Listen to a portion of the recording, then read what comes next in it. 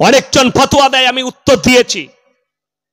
বক্তারা রেট করে পয়সা নিবে কেন? আমি হ্যাঁ। দু হাজার চব্বিশ সালে আমি যটা ডেট বুক করেছি, কুড়ি হাজার আর পঁচিশ হাজার করে। দিনাজপুরে তিরিশ হাজার করে বুক করেছি। পরের বছরে আমি পঁচিশ সালে চল্লিশ হাজার লোব কেন লিখছি? শুনে নাও। চলো আমার মাদ্রাসায়। যারা বলে মানুষকে বললে মানুষ ইনসাফ করে পয়সা দিবে। আবে নিজের ইমামের প্রতি যারা ইনসাফ করতে পারে না, ইয়াসিনের প্রতি কি ইনসাফ করবে? তাইলে শোনো, কালকে আমি আমার বাড়ি থেকে যেখানে গিয়েছিলাম, একদিকে দুশো কুড়ি কিলোমিটার রাস্তা। দক্ষিণ চব্বিশ পরগনা গোবড়ামারি, গ্রামের নাম। এক টাকা রাস্তা খরচ লিনি লোকটা কি বলল, আমার ছেলে আলেম, আমি ইমানদার লোক আমি বিশ্বাস, উলামারা বিশ্বাস করে, আমি বিশ্বাস করে গেলাম। বিশ্বাসঘাতকতা করেছে কালকে। আমার গাড়ির খরচ সাত হাজার। আমাকে দশ বারো হাজার টাকা পকেটে ভরে দিয়ে তাড়িয়ে দিয়েছে। দেখা পর্যন্ত করেনি। ফোনে বলছে, আর দিতে পারব না, ঘর চলে যা। এই ভাষা প্রয়োগ করেছে। আপনি বলুন, তাদের সঙ্গে দ্বিতীয়বার কি বলব? অ্যাকাউন্টে ভরে দে, না হলে গাড়ি বেরোবে না। কথাটা বুঝতে পেরেছেন না? পারেননি। আরও শুনেলেন দলিল। ফোন নম্বর পর্যন্ত দিয়ে দেবো আমি। আমার কাছে নোট আছে মোবাইলে। দক্ষিণ দিনাজপুরে জলসা করেছে একটা মাদ্রাসার জলসা। কমিটির যিনি সেক্রেটারি সে আবার হাজি সাহেব। জলসার পরে একজনাও দেখা করেনি, একটা টাকা দেয়নি। আপ ডাউন সাতশো কিলোমিটার রাস্তা। আমার বাপের পয়সায় যাতায়াত করেছি। তুমি ইনসাফ? যারা ইমামের প্রতি ইনসাফ করে না, আমি শকতের বেটা। মলবি ইয়াসিন চ্যালেঞ্জ ছুড়ে গেলাম এই আরামবাগের মাটিতে। কেউ যদি বাপের বেটা মতোয়াল্লি থাকো, ইনসাফ করে দেখাও ইমামের প্রতি। আমি শকতের বেটা ফিরি জলসা করে যাব চাঁদুরে। তবে তোমার ইমামের প্রতি। ইমামদের বেতন পঞ্চাশ হাজার করে দেখাও। ইমামরা টাকা নিলে ফতুয়া জারি করে। পয়সা লিয়া যাবে কি না? তাদেরকে বলি লকডাউনে ঘরে শুয়ে শুয়ে মাস্টার আর প্রফেসররা পয়সা নিয়েছে। কজন প্রশ্ন করেছেন এই টাকাটা জায়েজ না না জায়েজ? কজন দেওবান গেছো ফতুয়া আনতে? কজন গেছো সামতা মাদ্রাসায় ফতুয়া আনতে? তখন তোমার মুখে কুলু পেটে ছিল কবরে, যা, আল্লাহর কাছে জবাব দিবি, আলেমের জন্য প্রশ্ন তুলে, আজকে কষ্ট লাগে। মসজিদে মক্তবে ইমামরা পড়ালে, এক টাকা দিতে চাই না, হারাম করার বলে আল্লাহকে ভালোবাসি। আর মসজিদে ফাঁস কাতারে নামাজ পড়ো। অথচ সেই জায়গায় তোর ছেলে ইংলিশ মিডিয়ামে পড়তে যায়। টিউশনি মাস্টারকে, ইংরেজি মাস্টারকে পাঁচশো, বাংলা মাস্টারকে হাজার, সায়েন্সের মাস্টারকে পাঁচশো। সেখানে টিউশন খরচ করতে গায়ে লাগে না। কোরআনের জন্য দশ টাকা খরচ করতে গেলে গায়ে লাগে, তুমি আল্লাহকে ভালোবাসো না দুনিয়াকে তোমার হৃদয়কে জিজ্ঞেস করো। আমি ইয়াসিন বলে যাচ্ছি। আর কেউ যদি বাপের বেটা হন, আসুন আমার কাছে দলিল নিয়ে। হাদিস নিয়ে আসুন বুখারি, তিরমিজি, আবু দাউদ মাসা নাসাই শরীফ শুনেলেন হাজরত উমরে ফারুক রাদি আল্লাহ তালানহু ইমামদের কেন বেতন, উলামাদের কেন বেতন মাদ্রাসায়? যারা ফতোয়া আনছে, কোরআনের শিক্ষা দিয়ে পয়সা নেওয়া যাবে না। আর যে কাঠমলবি দিচ্ছে, সেই কাঠমলবি যদি বাপের বেটা হয় শকতের বেটার সাথে বস করাও। যদি সে উর্দু ভাষী হয়, আমার সাথে বস করাও। আমি উর্দুও জানি, গুজরাটিও জানি, সব জানি, বস করাও আমার সাথে। কোনো অসুবিধা নাই। দেখি কে বাপের বেটা আছে। শুনেলেন হাজরত উমরে ফারুক রাজি আল্লাহ তালানহু নবীজি চলে যাওয়ার পরে যেদিন আমিরুল মুমিনিন হলেন, সেদিনে সকালবেলায় উঠে নিজের ব্যবসার পুটুলি নিয়ে বেরিয়ে যাচ্ছেন মাল নিয়ে। সাহাবিরা ঘেরে ধরলেন, হে আমিরুল মুমিনিন, আপনি ব্যবসায় চলে গেলে আমাদের আমাদেরকে কে দিন দিন শিক্ষা দিবে? হাজরতে উমরে ফারুক রাদি আল্লাহ তালানহু তিনি বললেন আমার সংসার চলবে কি করে? সংসার আছে। আমাদের দেশের কিছু এঁটে পাকা আছে, এঁচড়ে পাকা জানেন? হ্যাঁ? রোদেতে পেকে গেলে সে মালগুলো খুব খারাপ হয় খেতে। আজকেই আমার বিবি একটা পেঁপে দিল, আমাদের গাছে ধরেছে। আমি বললাম, এটা দর কচু হয়ে গেছে, এটা এঁচড়ে পেকে গেছে গো। রোদে পেকেছে, ওই জন্য মজা লাগছে না। এই এঁচড়ে পাকা মাল কিছু আছে। তারা ফতোয়া আনতে যায়। আমাদের মতো মৌলবীর কাছে ফোন করে জ্বলায় তাদেরকে বলি, শোনো হাজরতে উমরে ফারুক রাদি আল্লাহ তালানহু যে সে সাহাবি ছিলেন না, নবীজি নিচে বললেন নিচে বলেছেন, রেওয়ায়তে আছে, আমার পরে যদি আল্লাহ নবুয়াতের দরজা খুলে রাখতেন, তো আল্লাহ হাজরতে উমরকে নবুয়াত দান করতেন, জোরে বলুন সুবাহান আল্লাহ এটা আমার নবীজির ভাষা। এরপরে বুঝেলেন, সেরকম সাহাবি বলছেন, আমি, আমার সংসার কি করে চলবে? আর আমাদের দেশে কিছু লোক আছে, বে, মসজিদে আল্লাহ আল্লাহ কর, আল্লাহ সংসার চালাবে। সে চোর না হলে দাগাবাজ। লোকের মেরে খায়। এই ভাষাটা মমিনের ভাষা নয়। মমিনের ভাষা, ভাই, আমি সকালবেলায় একটু আরামবাগে যাই সবজি বিক্রি করতে। দশটা পর্যন্ত সবজি বিক্রি করি, ফজরের নামাজের পরে গিয়ে আল্লাহ আমার অতি বরকত দেয়, সংসার চলে। তুমি মমিন, পাক্কা মমিন। যদি বলে, আমি কিচ্ছু করি না, খালি মসজিদে নামাজ পড়ি আর তসবি করি, আল্লাহ আমার সংসার চালায়, সেই লোকটা চোর না হলে ধোকাবাজ না হলে প্রতারক। ইসলাম বিরোধী কথা এটা।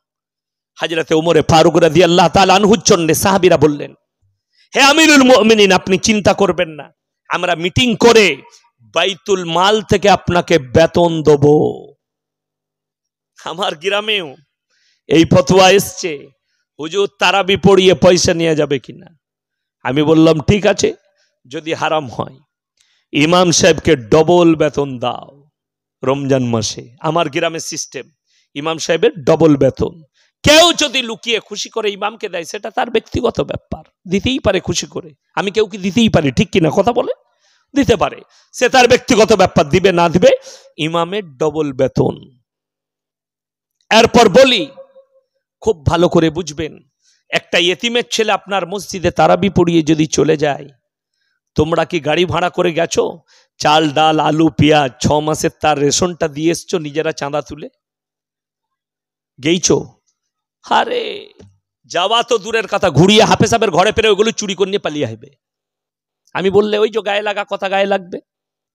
আমার আব্বাজি বলছিল, শোনো, দুনিয়ার কতটা পরিবর্তন হয়েছে আজকে, মিথ্যা প্রশ্রয় পেয়ে গেছে আর সত্য বিলীন হতে চলেছে। এটা কেয়ামতের আলামত।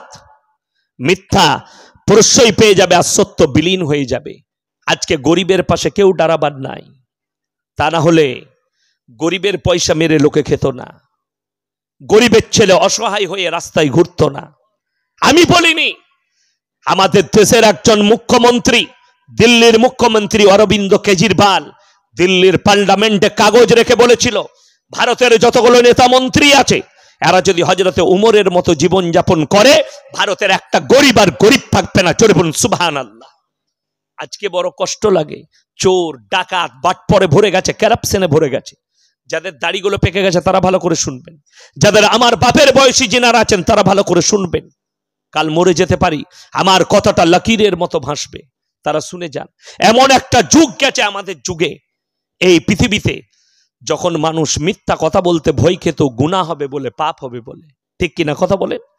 এখন লোক সত্য কথা বলতে ভয় খায়, কেউ কলারটা ধরবে বলে। বলব, কলারটা ধরবে। এটাই হচ্ছে বড় কষ্ট ডেঞ্জার ব্যাপার। ওই জন্যে ফতুয়া। আমি বোম্বেতে তারাবি শুনিয়েছি দেড় লাখ টাকা নিয়েছি। দেড় লাখ। আমি চাইনি, তারা দিয়েছে খুশি করে। পশ্চিম বাংলার আসামসোল মার্কেটে সব থেকে বড় জামে মসজিদ, কারি খুরশিদ সাহেব, কাশ্মী তারাবি শুনায় তিনাকে দুই লক্ষ টাকা দেয়, হাদিয়া। দু লক্ষ টাকা। আমাদের দেশের কিছু লোক মনে করে, সালা মৌলবীরা যেন পেছনটা গুটিয়ে থাকে আর আমাদের কাছে চাই চাই অবস্থা হয়ে থাকে। তোমরা জানো, ইমামের কি মর্যাদা? আপনাকে দিতে হবে না। আপনি ছ হাজার বেতন দেন পাঁচ হাজার বেতন দেন, আমি দেখিয়ে দেবো সত্তর হাজার টাকা বেতন পাই। তারপরও বউ রোজ বলছে, গলায় দড়ি দেবো না হলে ইন্দুর মারা বিষ খাব। আমাদিকে ছ হাজার বেতন দেন। আমাদের বউরা বলছে, বাপের বাড়ি যাব না। কষ্ট এই জায়গায়। আমার ভাই, আমাদের বেতন কম হতে পারে। তোমরা যদি মনে করো, আলেম দিকে বেতন দেবো না, দেখি এরা কি করে। কোনো চিন্তা ভাবনা নাই। আপনারা বেতন কম দেন, তুমি কুড়ি হাজার টাকা ইনকাম করবে, আল্লাহর কসম বরকত পাবে না। বা দিনের মধ্যে থাকার কারণে আর দিনের ওপরে প্রতিষ্ঠিত থাকার কারণে দশ হাজারে বরকত পাবে পঞ্চাশ হাজারের মতো। সেই বরকত আমরা পাচ্ছি। জানেন বরকতটা কি? আমরা যেখানে যাই, হুজুর কি খাবেন? ইমামের পালা থাকলে, ইমাম সাহেব, কালকে আমার বাড়িতে পালা আছে, কি খাবেন? তোমার বাড়িতে ভাত হোক আর না হোক, ইমামের সময়ে খাবার পৌঁছাতে হবে মসজিদে, ঠিক কি না? কথা বলেন।